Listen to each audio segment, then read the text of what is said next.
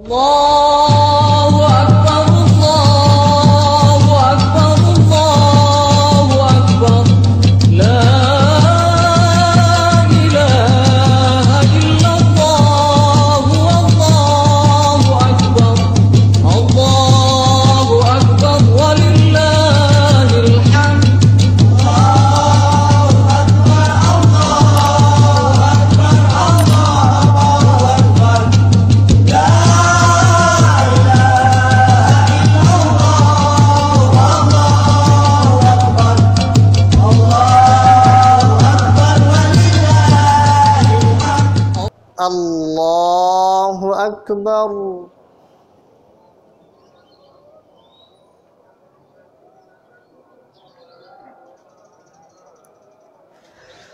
الله أكبر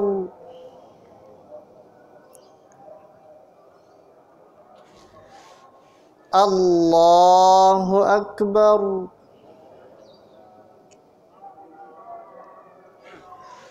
الله أكبر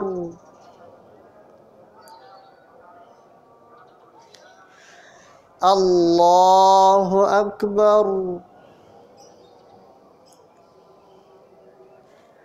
الله أكبر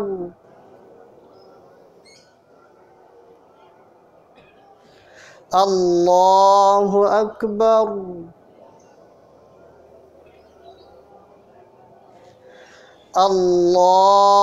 أكبر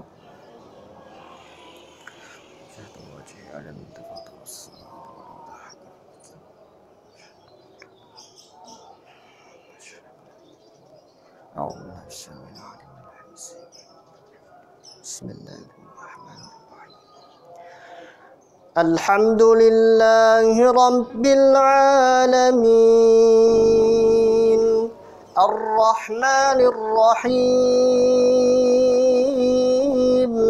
مالك يوم الدين. إياك نعبد وإياك نستعين. اهدنا الصراط المستقيم. صراط الذين أنعمت عليهم. غير المغضوب عليهم ولا الضالين.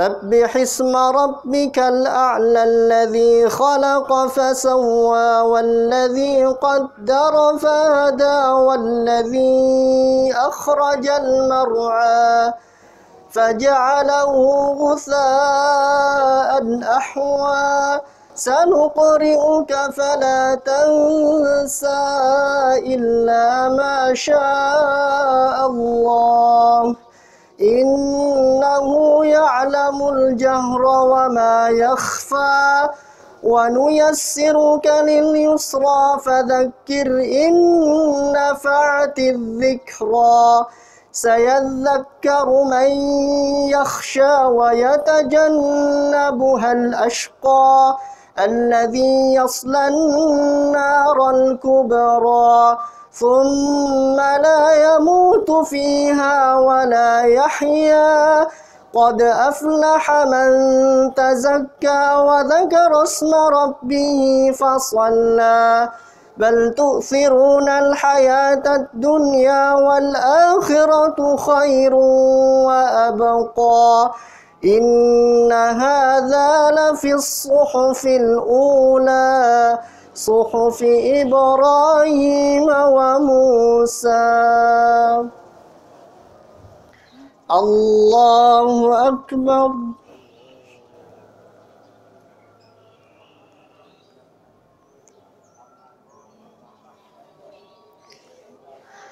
سمع الله لمن حمده.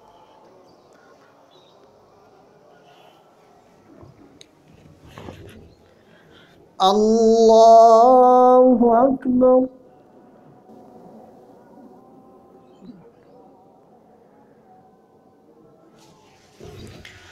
الله أكبر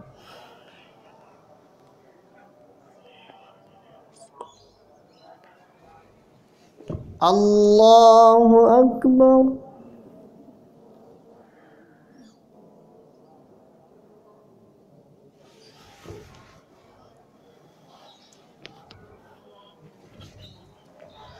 الله أكبر.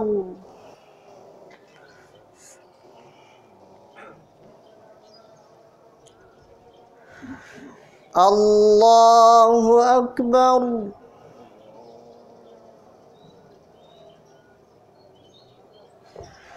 الله أكبر.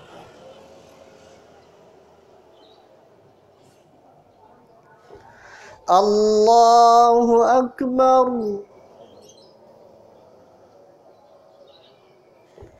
الله أكبر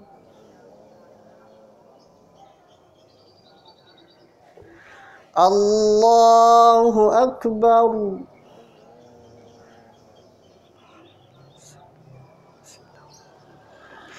الحمد لله رب العالمين الرحمن الرحيم. مالك يوم الدين. إياك نعبد وإياك نستعين. اهدنا الصراط المستقيم. صراط الذين أنعمت عليهم. غير المغضوب عليهم ولا الضالين.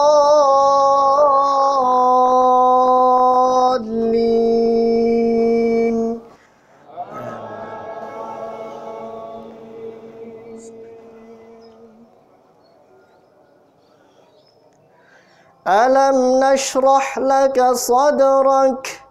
ووضعنا عنك وزرك الذي أنقض ظهرك ورفعنا لك ذكرك فإن مع العسر يسرا إن مع العسر يسرا.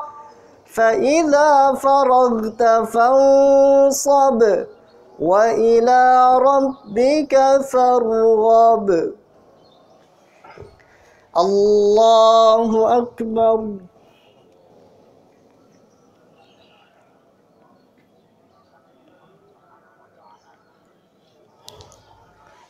سمع الله لمن حمده.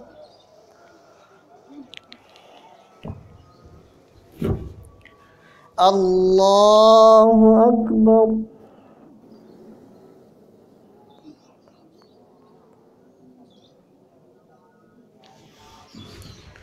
الله أكبر.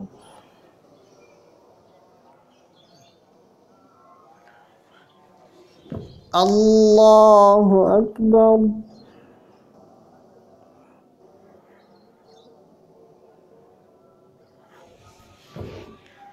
الله أكبر. تحية.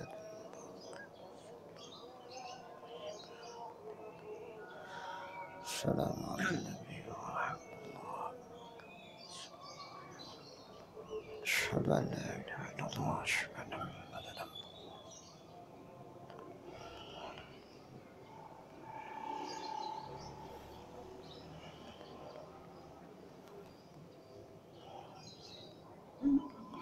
اللهم إني أعوذ بك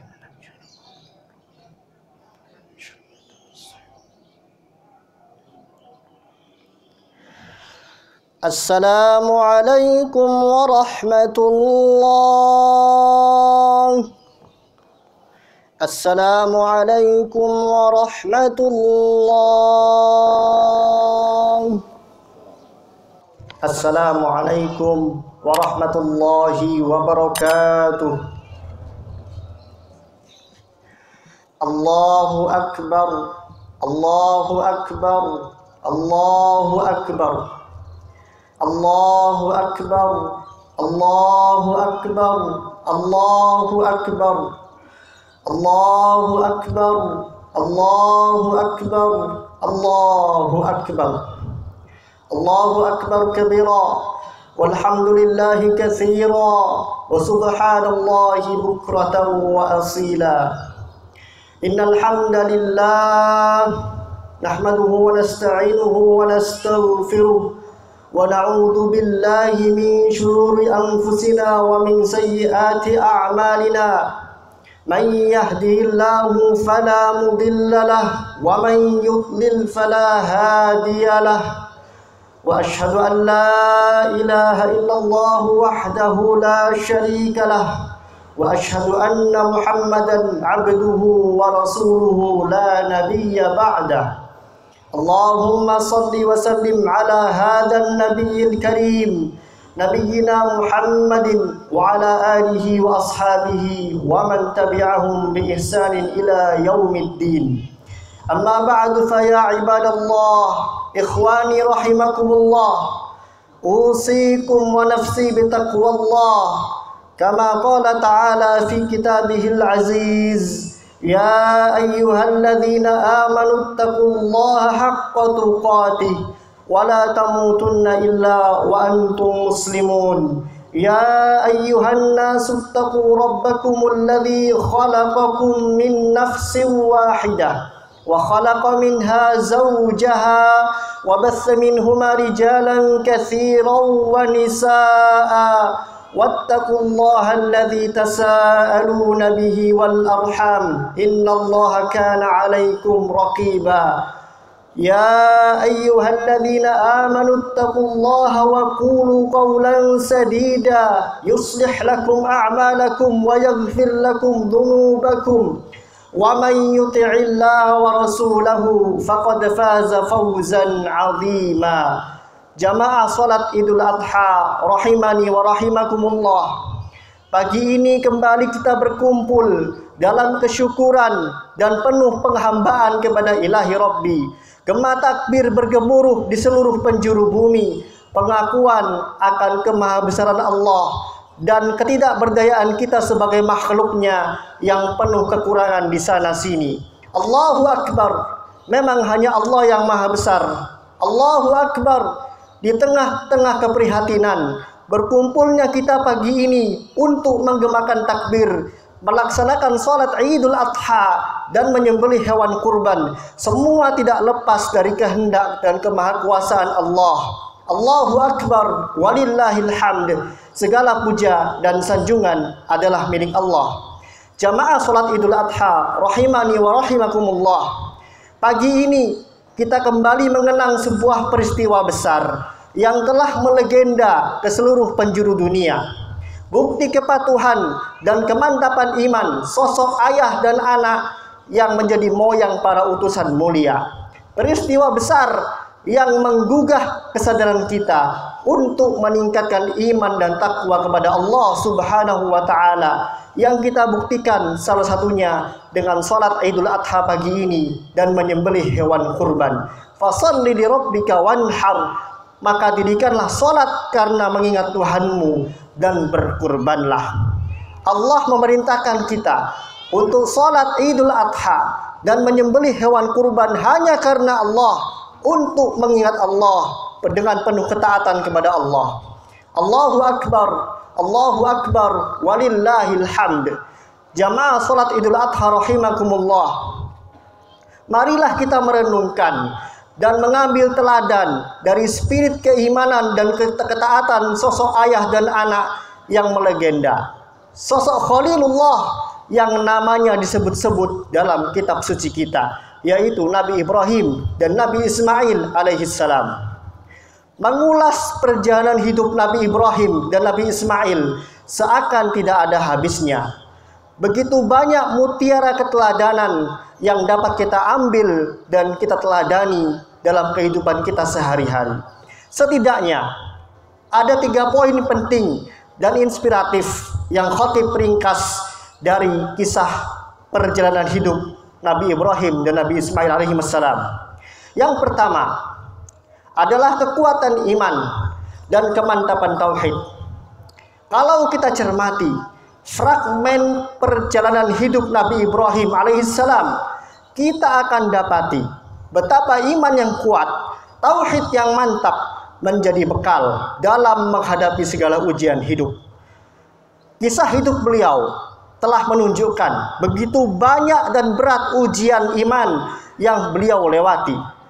Allah menghendaki Nabi Ibrahim alaihissalam menjadi sosok pemimpin yang menurunkan para nabi dan rasul yang terus dikenang oleh manusia sepanjang zaman.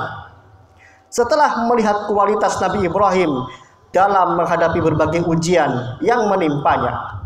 Wa idzi betala Ibrahim rabbuhu bikalimatin fa'atammahun. Dan ingatlah ketika Ibrahim diuji oleh Tuhannya dengan beberapa kalimat ujian, perintah dan larangan. Lalu Ibrahim menyempurnakannya.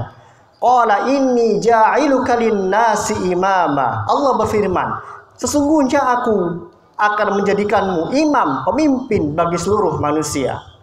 Qala wa min. Ibrahim memohon, wahai Allah, saya mohon juga dari keturunan saya. Qala la yanalu zalimin. Allah berfirman, janjiku ini tidak akan mengenai orang yang zalim. Bagaimana tidak? Sejak masa kecilnya Nabi Ibrahim dihadapkan pada berbagai ujian keimanan. Harus berdakwah pada ayahnya sendiri yang menyembah berhala sampai diusir oleh ayahnya. Berhadapan dengan raja yang zalim dan kafir, Namrud hingga dibakar. Lama tak kunjung dianugerahi seorang anak. Begitu punya anak, ia harus meninggalkan istri dan anaknya Hajar dan Ismail di sebuah tanah yang tandus tak berpohon dan tak berair. Sampai ketika Ismail menginjak usia remaja, Ibrahim diuji harus menyembelih anaknya. Nabi Ibrahim alaihissalam melewati ujian-ujian itu dengan pondasi tauhid yang kuat dan ketaatan penuh terhadap perintah-perintah Allah. Di masa remajanya, Ibrahim alaihissalam telah mengawati bulan, bintang, dan matahari pengamatan itu, pencarian itu berakhir dengan satu kesimpulan bahwa semua yang ada di dunia ini diciptakan oleh zat yang satu yaitu Allah Subhanahu wa taala. Falamma ra'a asy-syamsa bazighatan qala hadza rabbi hadza akbar. Ketika Ibrahim melihat matahari terbit, ia berkata, "Inilah Tuhanku, inilah yang paling besar." Falamma afalat ketika terbenam, qala ya qaumi inni bari'um mimma tusyrikun. Ibrahim berkata, "Wahai kaumku, aku berlepas diri dari engkau yang engkau sekutukan. Inni wajjahtu wajhiya lilladzi fatara samawati wal arda hanifa. Aku hadapkan wajahku kepada Rabb yang menciptakan langit dan bumi dengan condong kepada agama yang hanif. Wa ma ana minal musyrikin dan aku bukanlah orang-orang yang musyrik. Allahu akbar, Allahu akbar, walillahil hamd. Poin inspiratif yang kedua adalah akhlakul karimah. Di dalam Al-Quran, Allah subhanahu wa ta'ala mensifati Nabi Ibrahim alaihissalam dengan sifat halim. Inna Ibrahim la'awwahun halim. Sifat penyantun dan akhlak yang mulia ini tercermin dalam dialog Nabi Ibrahim alaihissalam dengan Azar bapaknya. Qala aragibun anta an alihati ya Ibrahim. Bapaknya berkata, apakah kamu benci terhadap sesembahan-sesembahan wahai Ibrahim? La illam tantahi la arjumannak. Kalau engkau tidak berhenti berdakwah, maka aku akan merajam kamu. Wahjurni malia. Tinggalkanlah aku untuk waktu yang lama. Apa jawab Ibrahim? Qala salamun alaik. Ibrahim berkata, semoga keselamatan dilimpahkan atasmu wahai ayahanda. Sa'astaghfirulaka rabbi. Aku akan mohonkan ampun bagimu pada Tuhanku. Innahu kana bi hafiya. Sesungguhnya Tuhanku sangat baik kepadaku. Akhlakul karimah, sesuatu yang sudah mulai hilang dari generasi masa kini. Seiring dengan berkembangnya teknologi komunikasi dan informasi, berita dari ujung dunia dapat diakses dengan mudah beberapa detik saja. Dunia seakan sudah tidak berbatas, maka iman yang kuat dan akhlakul karimah menjadi benteng pelindung diri dan keluarga kita dari gempuran arus kehidupan. Keluarga-keluarga yang dibingkai dengan iman dan akhlakul karimah akan mampu memilah dan memilih, akan mampu menjaga dirinya dari krisis akidah dan akhlak yang sedikit banyak disebabkan oleh pengaruh akses informasi dan komunikasi yang berkembang di zaman saat ini. Bukan berarti kita menutup diri dari perkembangan teknologi, tetapi memanfaatkan perkembangan itu pada porsi yang tepat, mengesam, tanpa mengesampingkan tugas, tanpa mengesampingkan tugas sebagai seorang hamba Allah, yaitu beribadah kepada Allah dengan ikhlas dan penuh penghambaan. Allahu Akbar, Allahu Akbar, walillahil hamd. Poin yang terakhir, Ibrahim sebagai seorang ayah mendidik dan membina keluarga dengan nilai-nilai tauhid dan akhlakul karimah.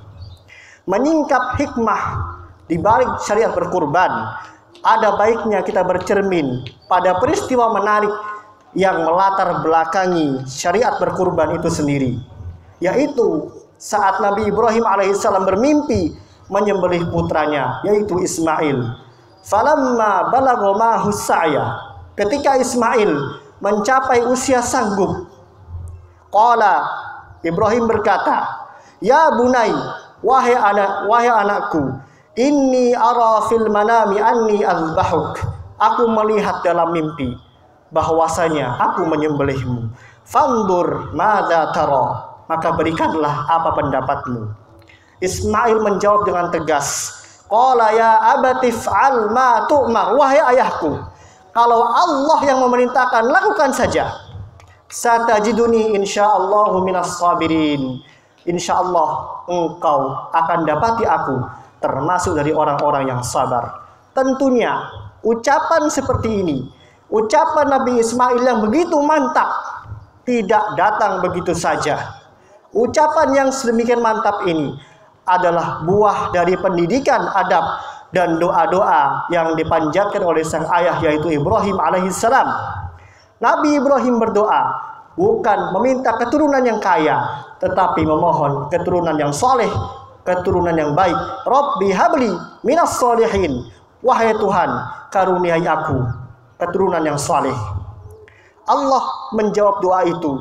Fabasyarnahu bigulamin halim. Kami berikan dia kabar gembira dengan seorang anak laki-laki yang penyantun, anak laki-laki yang beradab, anak laki-laki yang berakhlak. Jamaah rahimakumullah. Tidak hanya mendidik, Nabi Ibrahim selalu mendoakan keturunannya, mendoakan anak-anaknya. Allah Subhanahu wa taala mengabadikan doa-doa Ibrahim dalam Al-Qur'an. Salah satunya adalah ketika Nabi Ibrahim harus meninggalkan Hajar dan Ismail di sebuah lembah yang tandus dan kering. Rabbana wahai Tuhan kami, ini askantu min dzurriyyati. Aku menitipkan sebagian keturunanku biwadin wairi zar'in di lembah yang tandus tak berpohon, kering tak berair, inda baitikal muharram di sisi rumahmu yang mulia. Rabbana liyuqimus shalah. Wahai Tuhan kami, tidak lain itu semua adalah agar mereka mengingatmu, agar mereka mendirikan salat. Faj'al afidatan minan nasi tahwi ilaihim. Maka jadikanlah hati-hati manusia condong kepada mereka. Warzuquhum minat thamarat. Berikanlah mereka rizki dari buah-buahan la'allahum yashkurun agar mereka bersyukur. Dari ayat ini kita menarik pelajaran sekaligus peringatan Apakah betul kita para orang tua telah mendidik anak dengan baik, mencetak anak yang pandai, ataukah anak yang punya iman yang kuat, tauhid yang mantap, dan akhlak yang mulia? Kita sering kali menuntut anak berubah, menuntut anak berakhlak baik, menuntut anak menjadi juara kelas, tetapi kita sering kali lupa untuk mendoakan mereka kita sering kali lupa untuk mendoakan agar anak-anak kita diberikan iman yang kuat, selalu mendirikan sholat, terhindar dari penyembahan terhadap berhala. Allahu Akbar, Allahu Akbar, walillahil hamd. Jamaah sholat idul adha rahimani wa rahimakumullah.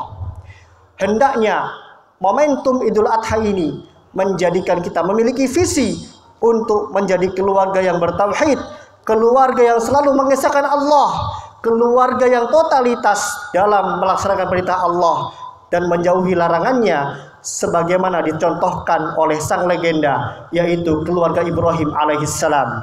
Berawal dari keluarga yang dibingkai dengan iman dan tauhid yang kuat serta akhlakul karimah dengan izin Allah masyarakat negeri ini akan menjadi masyarakat yang bertauhid, masyarakat yang takut kepada Allah, masyarakat yang tunduk penuh dalam melaksanakan perintah Allah dan menjauhi larangannya. Masyarakat yang memanusiakan manusia, masyarakat yang mengeliminasi sifat-sifat kehewanan yang merusak peradaban dan pada akhirnya kita semua kembali kepada Allah dalam keadaan ridho dan diridhoi olehnya.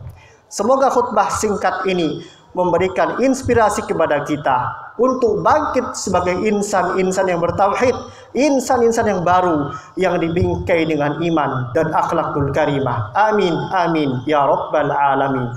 Marilah khutbah pada pagi hari ini kita tutup dengan berdoa kepada Allah Subhanahu wa taala. Allahumma salli ala Muhammad wa ala ali Muhammad kama sallaita ala Ibrahim wa ala ali Ibrahim ala Muhammadin wa ala ali Muhammad كما باركت على إبراهيم وعلى آل إبراهيم في العالمين إنك حميد مجيد. اللهم اغفر للمسلمين والمسلمات والمؤمنين والمؤمنات الأحياء منهم والأموات. اللهم آمنا في أوطاننا واجعل بلدنا في من خافك واتقاك واتبع رضاك يا أرحم الراحمين. اللهم انصر من نصر الدين واخذل من خذل المسلمين وعلي كلماتك إلى يوم الدين. اللهم أهلك الكفرة والمشركين واجعل كيدهم في نحورهم وانصر عبادك الموحدين.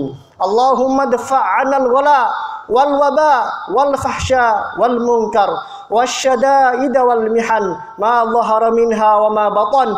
عن بلدنا هذا خاصة وعن سائر بلاد المسلمين عامة يا رب العالمين.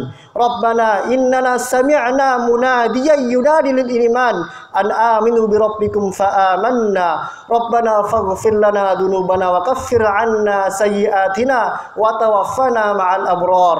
ربنا آتنا في الدنيا حسنة وفي الآخرة حسنة وقنا عذاب النار. والحمد لله رب العالمين. الله أكبر الله أكبر.